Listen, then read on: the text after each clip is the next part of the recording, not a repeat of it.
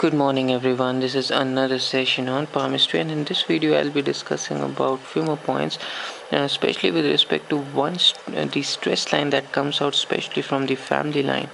Okay so whenever we see this line this is not considered to be very good marking especially if this line is incomplete. So when you see a horizontal line cutting across your palm and just randomly cutting another line and is ending abruptly then it, this is not a very good marking okay and especially if it is following a, a small dot like structure on the lifeline then uh, then this is even not good now uh, what happens is that this line can indicate towards maybe some kind of uh, um, accident. Okay this can indicate towards some kind of uh, stress. It can indicate interference from family this line can also indicate towards uh, some, you know you have to always time the lifeline and ask the person as to what happened at this age. For example if if you time it this would come to be around say 20 to 25 years of age so you have to ask that within this, these years if the person faced something or um, uh, something happened it can also indicate towards death of someone close. So all these kind of things you have to be really careful. And when you see such a marking you have to be really careful when you're questioning the person. Okay because such lines can uh, are not considered very good. They can indicate towards accidents they can indicate towards extreme stress they can indicate towards interference from family or friends they can indicate towards some kind of uh, uh, problem uh, okay now um, now suppose apart from this line you also see an influence line starting and stopping at this point. This can indicate that because of this event someone who was close to this person went away or maybe was not that close enough. Okay or maybe the relationship with that person got affected because that because this influence has stopped after this. So what can it indicate is that you know there was some kind of stress okay and this cause of stress can be many. It can be because of uh, family stress it can be because of some other stress okay and because of which there was another person who was close to you because these are the influence line. And you see the influence line gap is kind of increasing.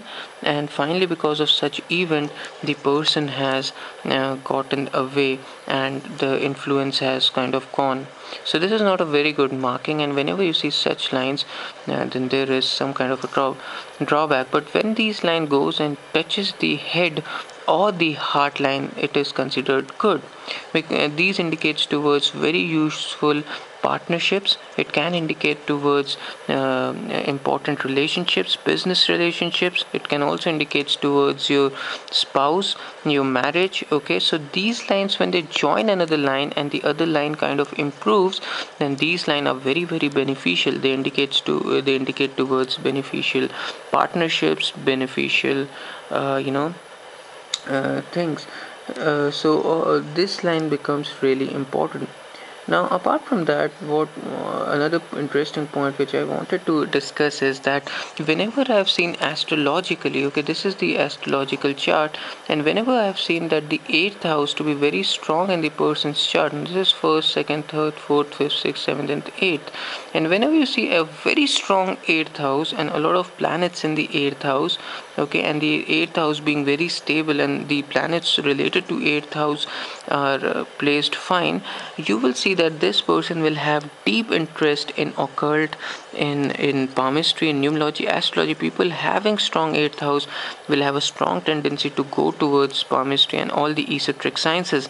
So if you have a very strong eighth house astrologically this would indicate that in your hand parallelly you will have a bow of intuition you will have a cross mystic cross okay? You can also have uh, other uh, factors which indicate towards occultism because a strong eighth house would mean that the person is very strong in intuitive abilities very good in intuitive things. And whenever you see a strong eighth house always check into the palm. You will see a lot of psychic markings because an, a good eighth house means a natural uh, occult person or a person who is naturally inclined towards learning of the esoteric sciences and also a person who does well in the same so hopefully you got a few more points in this video.